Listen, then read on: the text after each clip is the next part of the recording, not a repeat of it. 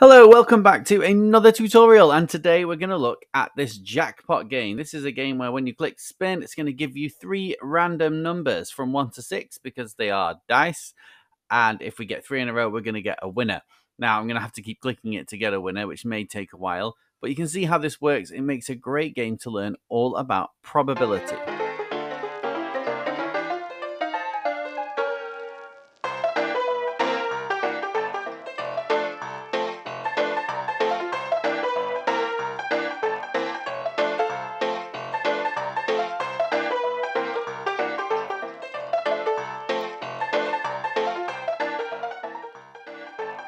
And there we go. Eventually, I got a winner. It took me 34 spins, so it's pretty much bang on probability.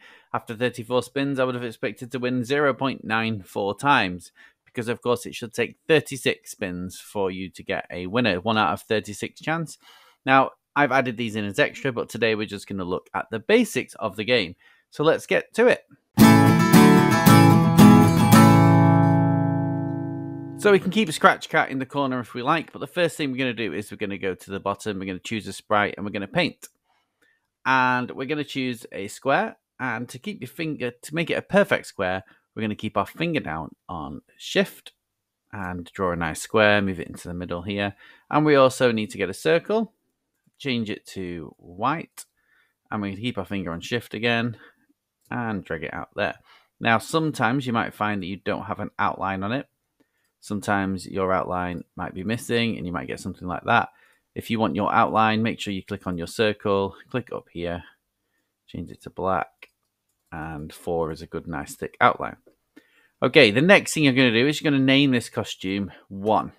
Okay, so in other words, this is dice for one. And then it's really simple. You're going to basically right click over here and duplicate, creating a second die. And then we can copy and paste move the dots to make what looks similar to a die. And we right click and we duplicate again. You'll notice the costume name is matching the amount of dots on the die. That's not a really clever thing by Scratch. It just means it's the third costume, but we're doing it. This will help us later on when we're trying to code if we've got a match. Okay, and we just keep on going like this until we have all six faces. And there we have it six-sided die that will appear with six different costumes. And before we duplicate to get three die, we're going to add in the code. So down here, I'm going to call this dice one. And we're going to head over to code. And we're going to make this choose a random costume. There's a few different ways of doing this, but we're going to keep do it a fairly simple way. We're going to get a when flag clicked for now. And we're going to do a repeat.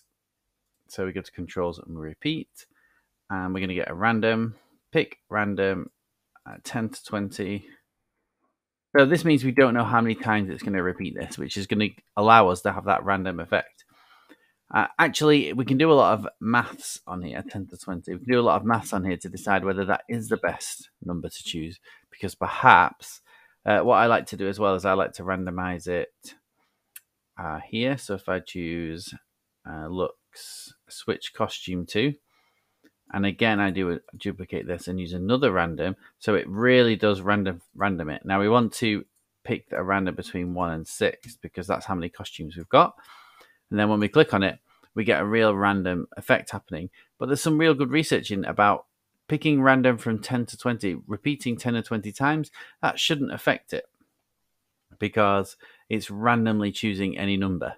If we didn't have this, if we had next costume instead, and it was randomly choosing between 10 and 20, then we are forcing probability slightly because it's only going to do it between 10 and 20 times. And you can start talking about modular mathematics and how uh, sometimes it's going to be difficult for a number to appear and there's going to be better chances for others. So, just to make sure it's totally random, we randomly choose a costume as well. So, it's not rolling necessarily one to six, it's just going to do it randomly. Now, this looks great, but it doesn't look like it's rolling really. So there's a little, little trick you can do. Uh, there's a few ways of doing this as well, but I what I like to do is I like to change the X and change the Y by just a small amount. So I'm going to click 2 and 2. Then I'm going to do a wait. And I'm going to change that to 0 0.1 seconds. And then I want to duplicate this again. I don't need that wait. Put that back in there. And I'm basically going to put it back again. Basically, we're just making it go up and down, left and right. And you get this nice little shuffle. And you can choose to make it a bigger shuffle, but if you do it too big, it doesn't look like it's shaking. It looks like it's jumping around. But you can get that, that visual effect of it moving. Now we can duplicate it three times. So we go down to the bottom here, and again, we just duplicate and duplicate again. Move them around. You may choose to have three different colors, in which case you just go into the costumes, change the colors of each background. But for me, I'm happy with having them all the same color. So now when I press green, I'm going to get them all shaking. And eventually, because we don't know when it's going to stop because of the random, it appears with one, two, three different outcomes. And you know, you could stop there. That could be it. You could have done enough there to then have a great lesson all about probability, work out what the chances are. You can easily change the numbers to pictures. You could easily change it to a four sided die because we're not restricted to actually having a, a, a three dimensional object with equal sides like dice have to be, we're doing it on a computer. So we could have a three sided die if we want, and we would know that it would definitely still be random. Okay, so enough about that. Let's do a winner's check. Now, the problem with doing a winner's check here live on this tutorial is that we might not get a winner for a while, so I'll have to speed through it. But we're going to go to, and it doesn't matter where you do it. I think I'll do it on the Scratch Cat uh, here, and I'll leave, I'll leave him down here. So what we're going to do is we're going to have uh, and I'm going to create a few broadcasts. Okay, so I'm going to broadcast a message which says check. Okay, and I'm actually not going to put that on here. I'm going to say when I receive check. And I'm going to go back to dice one. And after about a second of the animation, we can be pretty confident that once it's repeated, it will wait a second and then it will check to see if any of these numbers are the same. So it's going to broadcast this check. And over here, when I receive check, ScratchCat's going to check if them if they're all the same or not. This looks like a really big long piece of code. I'll explain it in a moment, but I'm just going to create it now. So the first thing I do is I get the when I receive check, and then I'm going to pull out an if then else. And I also need this block. You'll see that I've pulled out already. Uh, this one says backdrop number of stage. What you need to do is you need to change this to dice one. And then you get some different options here. And I want costume number. So I'm going to need three of those. Because I'm going to need one for dice two and for dice three. And notice when I change them, it goes to this. It changes it back to x position. So I need to change it to costume number again. So then we just need lots of equals and we need to do an and. So we're going to say if costume number of dice 1 equals costume number of dice 2. So that's the first check. And, and then we need another equals, the costume number of dice 3 equals the costume number of dice 2. So that's checking that one matches with 2 and 2 matches with 3. We don't need to check if 1 matches 3 because if 1 matches 2 and 2 matches 3, then they are all the same.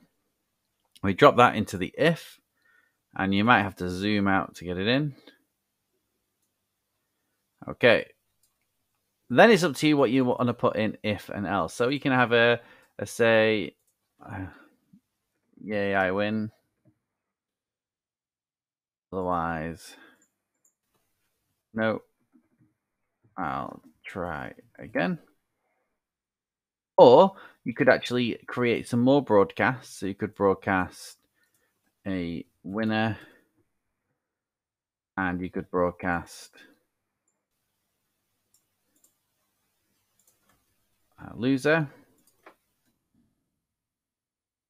And then you could put them in here and then you could have all different things happening in other areas. You could have the background change, you could have sprites appear, you could have, like I did in my example, where I had a message saying what the probability was based on they were when they were a winner. So now when I click the green flag,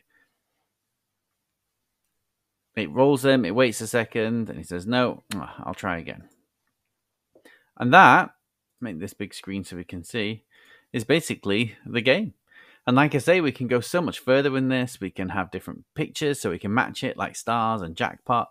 And then from there, it's all about the maths. So it's all about then discussing, okay, I want you to go away and create your own jackpot style game. I want you to work out what the jackpot prize would be. I want you to work out how much money you would charge to play this game, what you're getting out of it. And yes, you are kind of talking perhaps about how gambling works. And it's important from young mathematicians to realize that math- gamblers don't win. And whilst there is some fun element to it, you're generally going to lose a lot of money. And I think that's an important lesson for our students to learn. So this is a great game to play. It's fun to play. You can use it for charity events. You could have students make different games and people come along and have a play of them, uh, allowing jackpots to be won, but equally raising money for charity along along the way. But we can see here that the chances of one out of 36 for me to get all these three, any of these three in a row, and it's not happening anytime soon. So there you go. That's a nice, really simple. Takes ten minutes to create, but lots of deep mathematical conversations to have about it. And there's loads more on my slides, which are available in the link below the video. Hope you had fun creating this probability jackpot game.